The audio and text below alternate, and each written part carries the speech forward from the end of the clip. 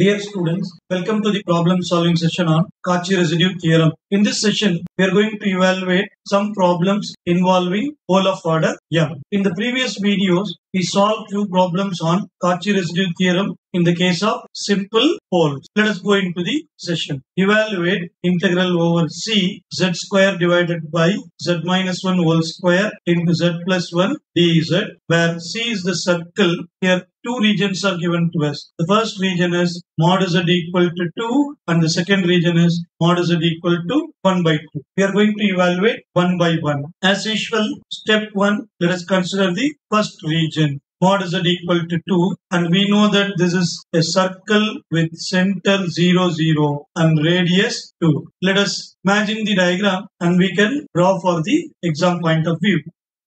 Since the radius is 2 and the center is 0 0 we can plot few points like 2 0 0 2 minus 2 comma 0 and 0 comma minus 2. The shaded region is the circle mod z equal to 2.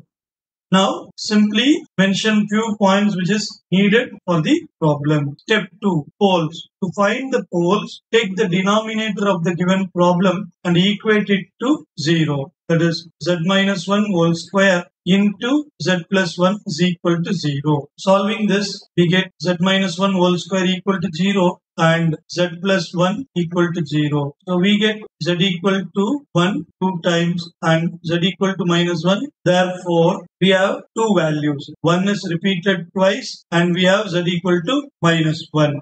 Now z equal to 1, the power of z minus 1 is 2, so it can't be a simple pole. z equal to 1 repeated twice, so it is a pole of order 2. Whenever I say z equal to 1, we can immediately write this as 1 comma 0. I already say how to do this. Z is x plus iy and I can write this as 1 plus i0. So now mapping the real and imaginary part we get xy that is 1 comma 0. Since this point is 2 comma 0 my 1 comma 0 lies inside the circle. So z equal to 1 is a pole of order 2 lies inside C. Next z equal to minus 1 we can see that z plus 1 power is 1. So z equal to minus 1 is a simple pole and we can find the points easily that is x comma y is minus 1 comma 0. Minus 1 comma 0 is also lies inside the circle. So we say z equal to minus 1 is a simple pole lies inside C.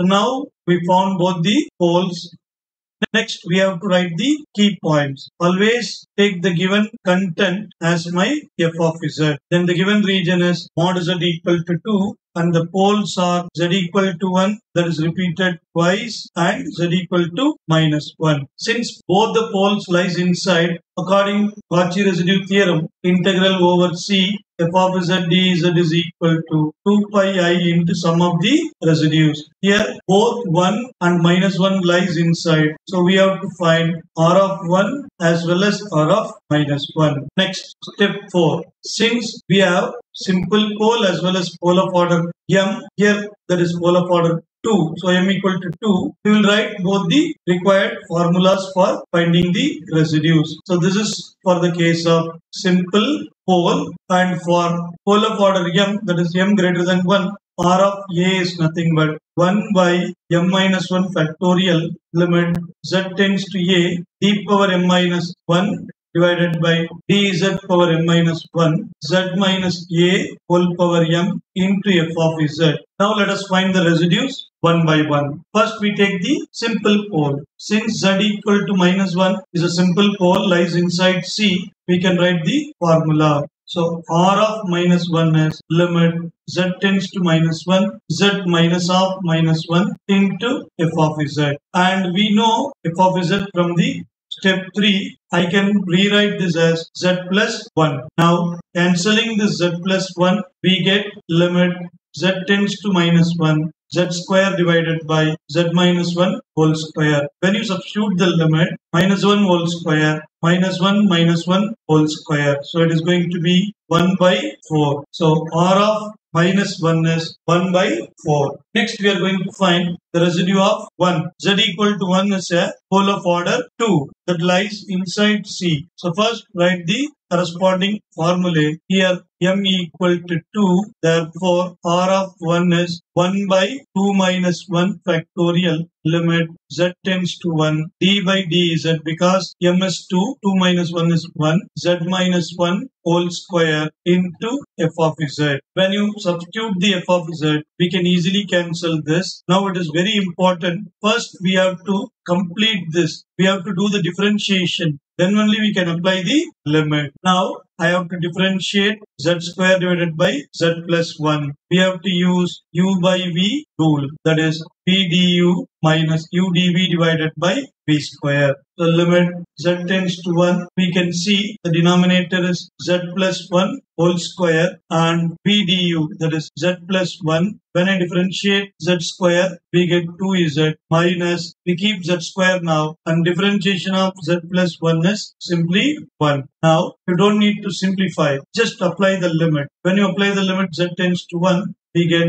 1 plus 1 2 into 1 minus 1 square divided by 1 plus 1 whole square. So now we get 4 minus 1 by 4 that is 3 by 4. Therefore R of 1 is 3 by 4. Next final step we have to substitute these residues in the Cauchy residue theorem. That is my step 5. By Cauchy residue theorem we know integral over C of z dz is equal to 2 pi i into sum of residues. Here we have two residues that is r of 1 and r of minus 1. At first we found r of minus 1 that is 1 by 4 and just now we found r of 1 is 3 by 4. So it is going to be 2 pi i into 1. Therefore integral over c z square divided by z minus 1 whole square into z plus 1 dz is 2 pi i. you understand. Next, for the same problem, we have to evaluate for the different region. Mod is equal to 1 by 2. Obviously, this is the circle with center 0, 0. Radius is 0.5 or 1 by 2. Now, we know the poles. Just now we found in the beginning of the problem. 1 is repeating twice and minus 1 is unique. But my radius is 0.5. So, both z equal to 1 and minus 1 lies outside C. None of the poles lies inside C. That means there is no poles for this region mod z equal to 1 by 2. Therefore, my function is fully analytic. It is an entire function. So now we have to use Cauchy integral theorem. If the function is analytic everywhere, there is no singular point, then integral over C f of z dz is 0. Therefore, the solution for the second region is 0. Hope you got the point. Thanks for watching. Hope you found this video helpful. Subscribe to our channel and share it to your friends. See you in the next video. Bye bye.